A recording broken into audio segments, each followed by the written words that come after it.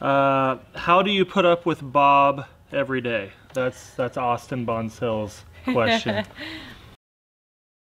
yeah! What up, y'all, and welcome back to another one. Trying to be quiet here. I'm a little excited.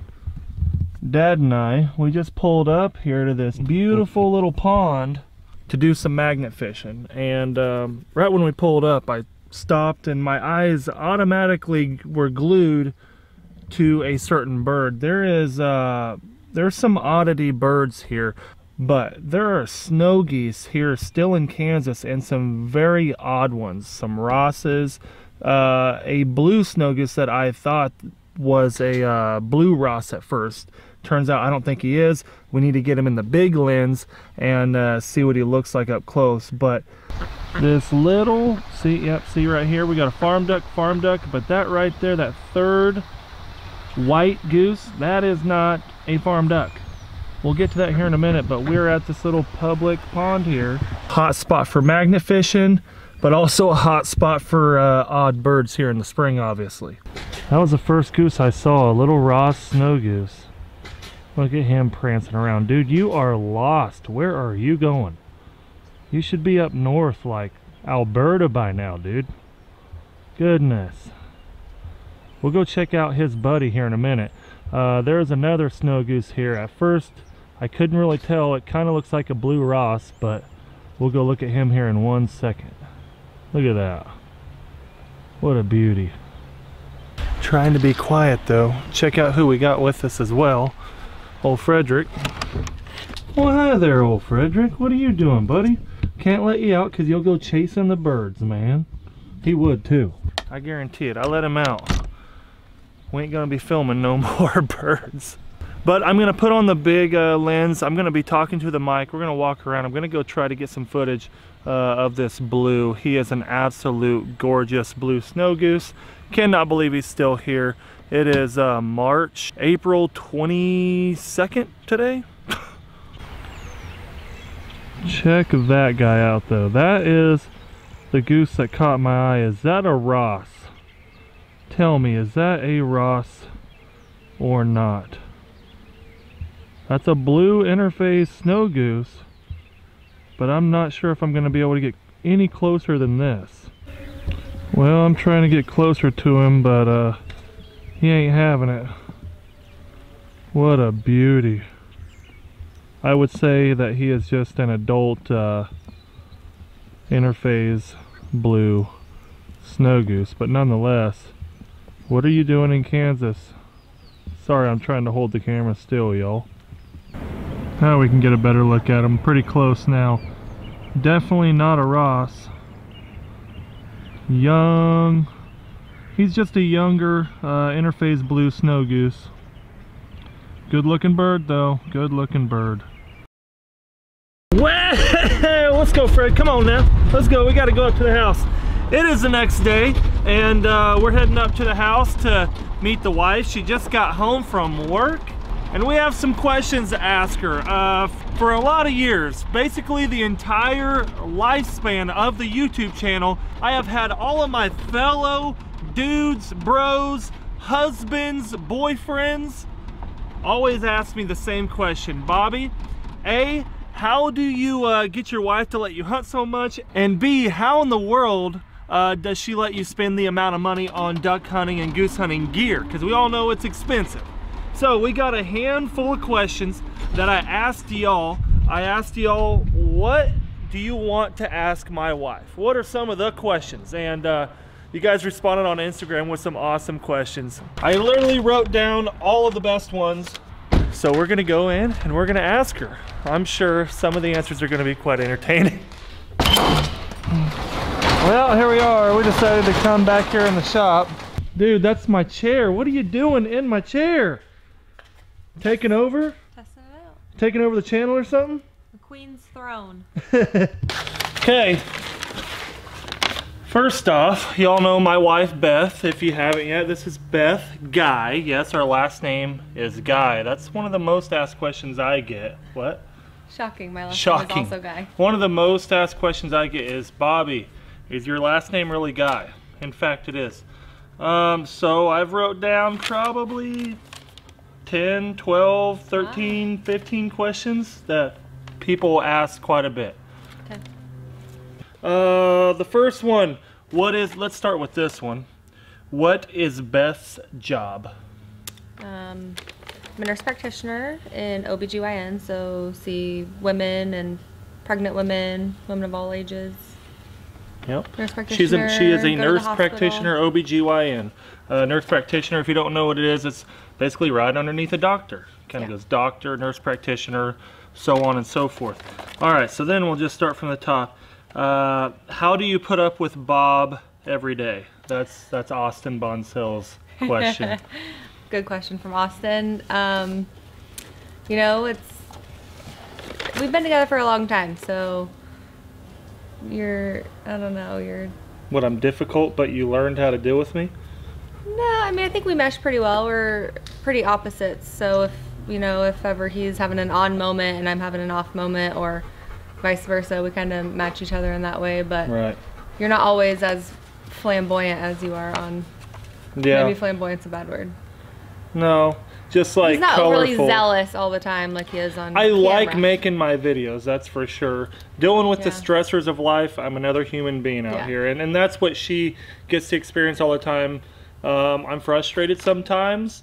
Um, but my deal is that I don't like to show my frustration or when I'm when I'm uptight Yeah. about something, I don't like to put it on there. That's not why you guys are here and that's I'm not gonna put my emotions on there. So everybody has their ups and downs uh, throughout their week and their day. But most of the Uh, time you make everything pretty I try. lighthearted and I joking try. around the Well, I'm busy, and it takes a lot. This all, all this going on, it takes a lot of my attention. And I've never been a business owner, and and like I've told a lot of y'all, dreams are awesome and all, but you got to work for them. And then when they're in Yeah. their, in your lap to deal with them, it can become a lot. So, Yeah. moving on, what do you think about the lodge and the guide service Sandhill Flyway?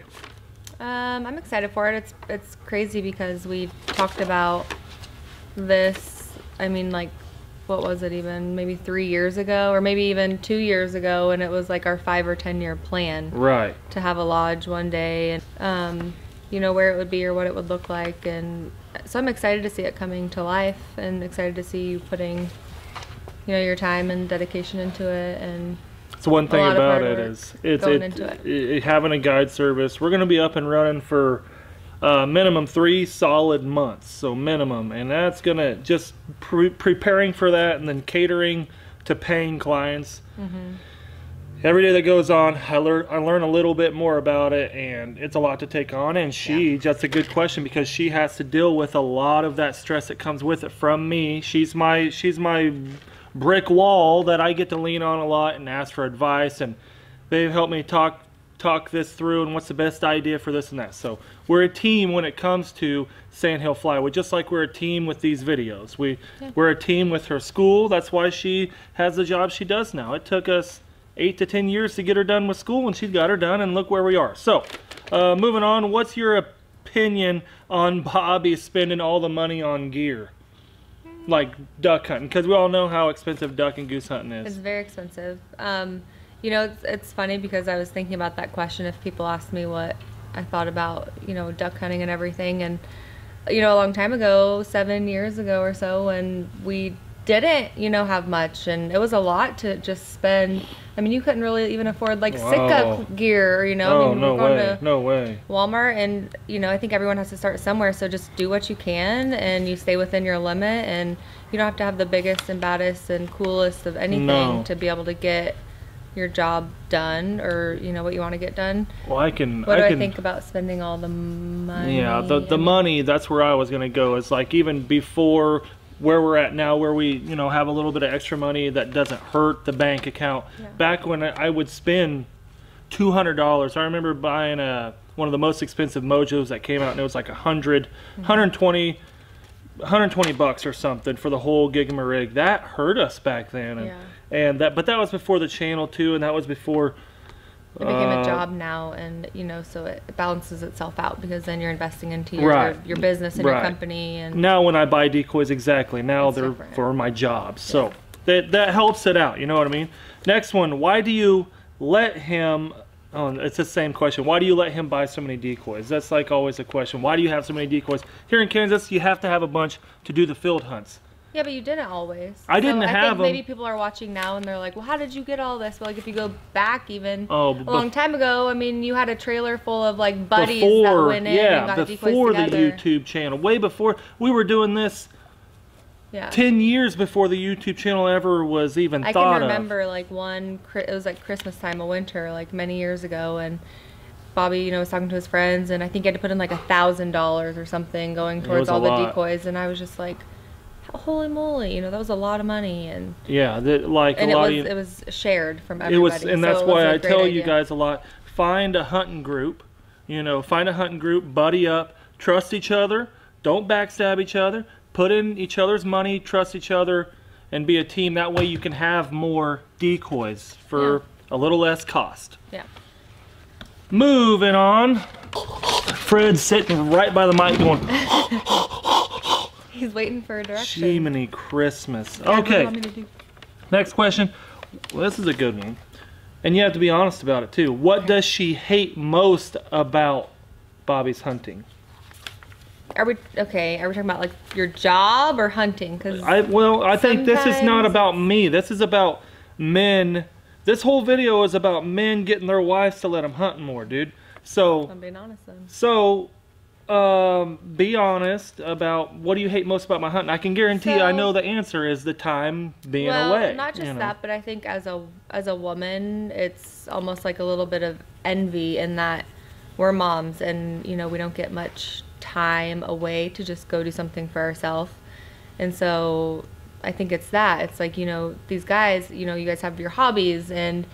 You're like, okay, I'm going hunting, and it's just not even really a question. Guys just have their plan, and that's what they do. And then the woman, you know, you're just like, well, okay. So, I mean, not that you don't do this, but I think it's a great thing or, you know, idea or just put it in the back of your mind that, you know, this time that you're spending away, your wife or your girlfriend or whoever would probably appreciate the notion of just being like, hey, why don't you go spend a couple hours and Right. go get your nails done or Right. go to Target and walk around or do whatever it is that you want to do to just have like a second have a have some girl time and do something that you also enjoy. Right, right, and I think that um, now with everything going on and, and having kids, this is a this is a. I get a lot of questions, guys with girlfriends saying, my girlfriend literally doesn't want me to hunt anymore. She, you know, pretty much just don't want me to hunt anymore. She's ruining hunting for me. This my response to that isn't going to be, well, go get you a new girlfriend. That's not the thing. Is is maybe just like she said, maybe um, if you would just surprise her by going and getting her hair done, or taking her out for dinner one night and spending the time with her, or just saying, hey, babe, you go do something that you want to. Uh, it's been a while. I'm bad about that because again, I'm busy all the time. A lot, a lot of people are out there, but I've been bad about that. I've been guilty about it a lot of times. Just not, just not sitting back and going, babe, go do what you want. You know. So that's a big part. Share leisurely time back and forth. When she can go do something, by goodness, go do it because she she stays home and watches the kids uh, a lot of times when I'm out doing what I want to do, which is now my job. So I think that's a big thing too. Is people go, man, Bobby, I'd love to be you to to hunt every day of my life and this and that. It's a job. It becomes a job just like anything else. And and Andrew Flair told me one thing uh, when I started this. He said, Bobby, you're gonna do it enough to where you're gonna have to make your hobby your job. And that transition, when you when you experience it for the first time, you really start hating it. And two years ago, I went through that transition where I wasn't We all- happy. we all did. I was, yeah, we all went through it because it was like, oh, it was so much, and we were getting smothered. Now we just blew up, and everything fell back into place. And and um, being a business owner, being uh, coming off of being a blue collar and clocking in, it was just a learning experience. I'd never been a business owner. I'd never managed my own time before. Yeah. So it was a lot to take on. Uh, Jacob says, Jacob says, just stay single. LOL. hey, if that works for you and you get to do what you want, by goodness, do it. There you go. Uh, how long have you been a nurse? Um, well, I've been, I was a nursing assistant, so like a CNA when I was 16, and then that's all I've ever done. I was a CNA, and then I went to nursing school. I got my um, LPN when I was 21, and then or maybe 22, and then I got my RN the next year when I was 23. So I've been an RN for six years, Yep.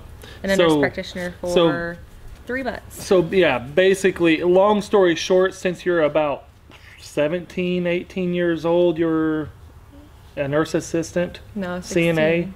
Oh, 16. 16, mm-hmm. 16 to 29, however many years that is. Yeah, most of my life. Next question. Huh, now that we already read that one, we need to know what's the magic word Bobby uses to get permission to hunt so much. Now, is that permission from the farmers or permission Oh. from the wife?